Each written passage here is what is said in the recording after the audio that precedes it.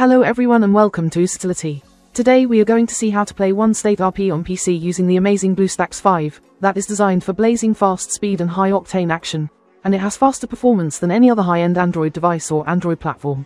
We will be able to easily download and install One State RP and enjoy the game on our Windows PC or laptop with keyboard, mouse and big screen thanks to BlueStacks 5, which is the Android emulator that we recommend to play One State RP.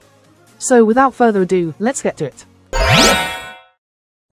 Anything else my friends, to get started we need to launch our main web browser. We open the one we use by default. Let's continue, going to this URL that I have highlighted in green color. There you are seeing it on the PC screen. There is no need to type the URL, because I added a clickable link in the description of this video and as well in the first main comment. Once clicking on that link, we arrive here on the website of BlueStacks, which the Android emulator that we will load to get access to this game One State RP on our PC. As you can see from here we get some pros of preferring using that emulator. Now we are on the way to start downloading the One State RP by clicking on this button play on BlueStacks that you can see here in green color. We then click on that button. Of course, the download step starts and ends immediately. Voila! Here is located the download. It's an executable file. The following step is to launch the executable file, so we click on this file. Windows 10 users will be asked for permission to allow changes to the laptop or device. We answered yes. I reduced the web browser to start to see the installer significantly better. The installation software is quite simple. It includes two choices, install and setup path. I am going to talk about what setup path truly does. We only click on it, and therefore we realize that we display here the path where in fact the emulator can be set up. If we prefer to vary this directory we are required to click on this, browse, option, and we opt for another directory and set up the emulator where we choose. To keep it simple, just keep it where it is. I simply click back. Therefore, I pick install. Fantastic. The install begins and it is going to continue in the download of those megabytes that happens to be visible on this screen. At the time you save it on your hard drive, it is likely to be more or less MB. The data transfer rate will go faster or at a lower speed, subject to your internet and according to the performance of the emulator hosting servers. Today they are going extremely fast. The download is finished, and now it proceeds with the installation phase. With BlueStacks 5 you can even reduce RAM usage with a single click. Especially useful if you ever face performance-related problems. In addition, you can activate Eco Mode to enjoy 87% reduced CPU usage, 97% reduced GPU usage and easier multitasking. As you can see, BlueStacks 5 is built to provide stability and performance during long gaming sessions. The installation has already finished for me. At this time, the emulator has actually been started instantly. As you can see now, at the bottom of the screen, we have a progress bar that will move forward to the right when it comes to the ending. The emulator will be started for the first time. Indeed, the emulator is already launched, here for the first time.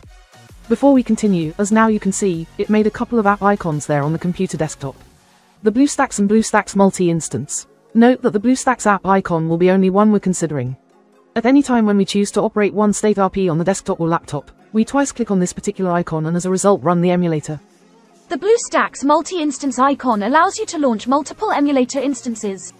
And with BlueStacks 5's new improved multi-instance manager in eco mode, players can run more game instances faster and with less lag. Let me make the next phase, that is a requirement, and which is to visit the Google Play Store. To do this we will go there to, System Apps, we click on. And we are going to mouse click on Play Store. As you can view the Google Play is presented. At this point we need to log on. Presently the moment we are on this page, we have to execute the next phase that is compulsory. So we click on, sign in. At present it announces, checking info. It might from time to time get blocked in, checking info, and so it does not proceed. In this case, you should try to connect to your account after a couple of hours it's going to probably be corrected. At present we can type in our email and password. The email address really needs to be a Gmail email as well as its matching password. For example, you make use of the same email address you are using at the moment in your own YouTube account. So that I am going to provide my info and I will go back after I have accomplished it. That's all. Information inserted. Below is Google welcoming us and supplying us the twos. We must approve them by clicking, I agree. Then, it allow us to back up to the Google Cloud. You could let it selected and it will generate a backup of your data on this device to Google Drive. I will not select it. You can make use of this option if you want. We click accept. Google Play, formerly Android Market. is started without need to open it manually and instantly. To set up the app, we would need to go to the emulator desktop for Android by simply clicking the app icon marked green colored. Currently that we are exploring the desktop of that emulator, we can see that we come with there the install game option. We click or double click on that button. At this point we come with the video game. How about we press here on the install choice that I am just highlighting now in green. This will launch the setup. Presently it would install the game. It typically takes a little while or it could be amazingly quickly. It all is determined on our own internet access. This has just completed installing. Now, let's go to the emulator desktop by simply clicking on this particular button I'm emphasizing in green, if you want to use OneState RP for the very first time.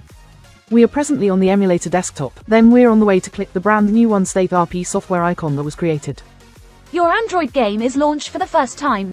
Now there we end up with it. I can mouse click anywhere on the screen and also make use of the keyboard. As well as to appreciate the experience to the greatest, we could switch on the large monitor, for which we have two alternatives. That is simply the first one. We just click on this particular software icon that I'm showing in green color. Then the display screen is maximized, offering one border on top, one at the right and the third one at the bottom. In case that we like to launch the video game using all the screen, we hit that icon. And we'd presently be experiencing and enjoying the video game in 100% screen setting. To stop the complete screen mode, just click the F11 key. And we'd now play in normal display screen setting. From now, I am on the way to clarify you the computer keyboard mapping that is really very cool. That strategy we will be able to operate the game a lot more effortlessly. The very first thing is to mouse click this app icon. It's now time to complete the required controls. I can leave the normal settings, though if you wish to change this, you can do so without any problem. So now, you will find another point that we will need to take into consideration, and it's that we will receive an email reporting that a brand new device has been connected to our own Google account. It will check with us if we're the individuals who have associated with that electronic device. Indeed, we must not get worried, because the emulator is behaving like an Google Android device. And in order to determine which electronic device is currently being emulated, we return here, to the cogwheel and we mouse click on it. Let's browse here to the model selection. And now we learn that the emulator is acting as a Samsung mobile. And so we're going to receive an email saying that a new Samsung device has been connected to our Google account. This is it guys, so much for this video user demo. I anticipate you appreciated it, especially that everyone thought it was useful. If that's so, give it a superb like, subscribe, and any feedback, requests or ideas, leave them in the comment field down below. Check out any of these instructional videos that happens to be appearing on the screen and see you in the next videos. Bye.